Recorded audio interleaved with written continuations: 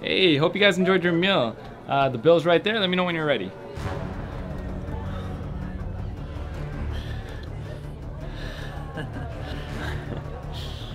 Uh, Bill's here. Yeah, it is. Just gonna put that there. Bro, did this man really push the bill to my side? I ain't paying for this. Did This guy just pushed the bill back?